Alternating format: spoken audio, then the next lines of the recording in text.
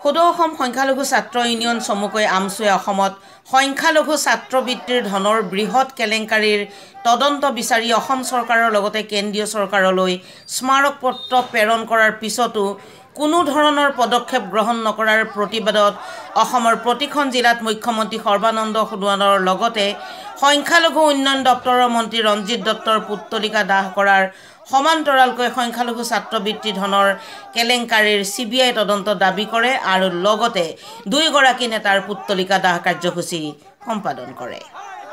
উক্ত সংখ্যালঘু ছাত্ৰবৃত্তি ধনৰ কেলেংকাৰীৰ তদন্ত বিচাৰি নলবাৰী জিলা আমচুৰ সভাপতি আমিৰুল ইছলামে এইদৰে কয়।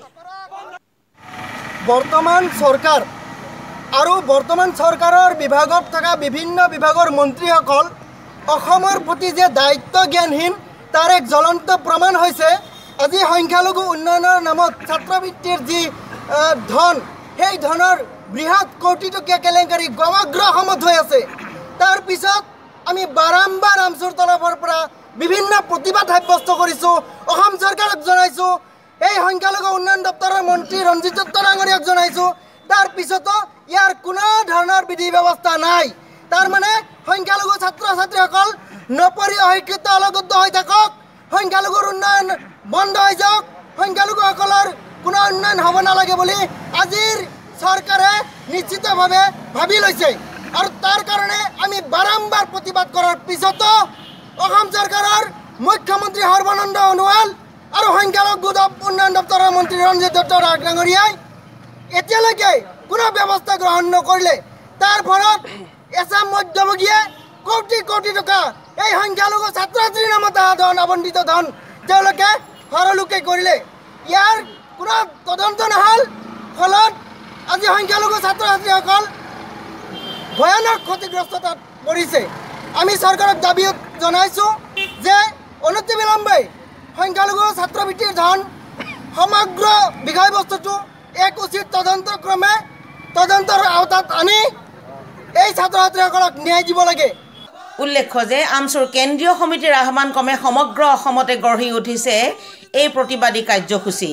কেন্দ্ৰীয় সমিতিৰ আহ্বানৰ প্ৰতি সঁহাৰি জনাই সংখ্যালঘু ছাত্ৰবৃত্তিৰ ধন আত্মসাতৰ বিৰুদ্ধে দক্ষিণ বৰপেটা জিলা আমচুৱেও প্ৰতিবাদ সাব্যস্ত কৰি পুত্তলিকা দাহ কৰে। উক্ত কাৰ্যসূচী সম্পৰ্কত বৰপেটা জিলা আমচুৰ সভাপতি ৰহুল আমিনে এই দুখীয়া ছাত্ৰ ছাত্ৰীৰ ধন আত্মসাতৰ লগত জড়িত সকলো চৰকাৰী তথা বেচৰকাৰী দালাল চক্ৰক অমানৱীয় কাৰ্যৰ পৰা আঁতৰি থাকিবলৈ সকিয়নি প্ৰদান কৰে। লগতে সংগঠনটোৰ সভাপতিজনে এই সংখ্যালঘু বিভাগৰ দুৰ্নীতিৰ বিৰুদ্ধে নিৰপেক্ষ তদন্তৰ বাবে চি বি আই তদন্ত বিচাৰে আৰু দোষীক কৰায়ত্ব কৰি দৃষ্টান্তমূলক শাস্তি বিহিবলৈ চৰকাৰক আহ্বান জনায়।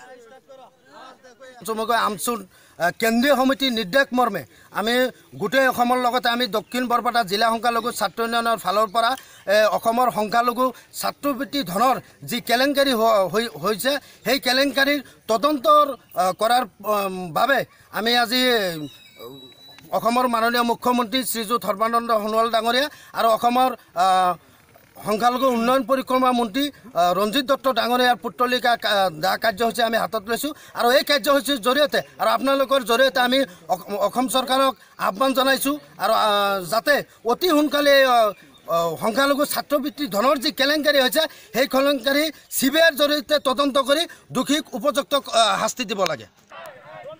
ইপিনে আমচুৰ কেন্দ্ৰীয় সমিতিৰ নিৰ্দেশ মৰ্মে গোলাঘাট জিলা আৰু ধনশিৰি মহকুমা সমিতিয়ে সৰুপথাৰ আঞ্চলিক সমিতিৰ সহযোগত সংখ্যালঘু ছাত্ৰবৃত্তিৰ ধনৰ বৃহৎ কেলেংকাৰী সন্দৰ্ভত ৰাজ্য চৰকাৰে কোনো ব্যৱস্থা নোলোৱাৰ প্ৰতিবাদত সৰুপথাৰ নগৰৰ তিনিআলিত অসমৰ মুখ্যমন্ত্ৰী সৰ্বানন্দ সোণোৱাল আৰু সংখ্যালঘু দপ্তৰৰ মন্ত্ৰী ৰঞ্জিত দত্তৰ পুত্তলিকা দাহ কাৰ্যসূচী ৰূপায়ণ কৰি এইদৰে কয়। হয় এইটো এটা বৃহৎ কেলেংকাৰী। সংখ্যালঘু ছাত্ৰ ছাত্ৰীসকলৰ নামত আমি আগৰ পৰা দাবী জনাই আহিছোঁ কৈ আহিছোঁ ইয়াত ডাঙৰ ডাঙৰ আপোনাৰ ৰাজনৈতিক নেতা বিষয়ববীয়াসকল জড়িত হৈ আছে। আমি আজি কেন্দ্ৰীয় সমিতিৰ নিৰ্দেশ মৰ্মে সমগ্ৰ অসমত আজি প্ৰতিমূৰ্তি দাহ কাৰ্যসূচী আমি হাতত লৈছোঁ। আমি এই কাৰ্যসূচীত সদ গোলাঘাট জিলা সংখ্যালঘু ছাত্ৰ ইউনিয়ন ধনশিৰি মহকুমা আমচুৱে কাৰ্যসূচী আজি প্ৰতিবাদ সাব্যস্ত কৰিছে আৰু আমি এই কাৰ্যসূচীৰ জৰিয়তে অসমৰ মুখ্যমন্ত্ৰী ডাঙৰীয়াক আমি আহ্বান জনাইছোঁ যে এই বৃহৎ কেলেংকাৰীৰ যিটো মানে সংখ্যালঘু ছাত্ৰ ছাত্ৰীৰ নামত বৃহৎ কেলেংকাৰী হৈছে এই কেলেংকাৰীৰ এক উচ্চ পৰ্যায়ৰ চি বি আই তদন্ত হ'ব লাগে আৰু যি bureau' report any time twenty four.